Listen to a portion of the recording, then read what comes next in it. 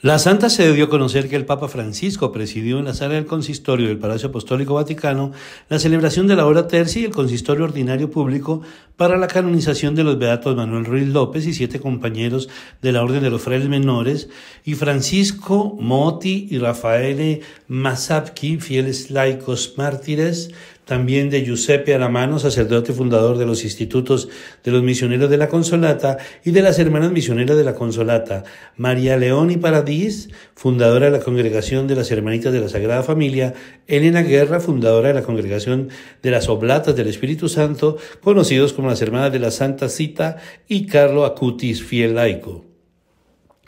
Tras la oración introductoria, el prefecto del Dicasterio para las Causas de los Santos, el cardenal Marcello Semerano, dio lectura de un resumen de la biografía y los milagros aprobados por intercesión de los quince beatos. Durante el consistorio, el Papa Francisco decretó que los beatos Manuel Ruiz López y sus siete compañeros sean inscritos en la lista de los santos el domingo 20 de octubre de 2024. Asimismo, se informó que el beato Carlo Acutis, quien es llamado el santo influencer, será inscrito en la lista de los elevados a los altares en una fecha por determinar. Algunas fuentes confirmaron a Radio María Internacional que probablemente la canonización del joven laico se realizará durante el jubileo de 2025 junto con otras canonizaciones. Desde Roma y para Radio María Internacional, este fue un informe de Néstor Ponguta Puerto.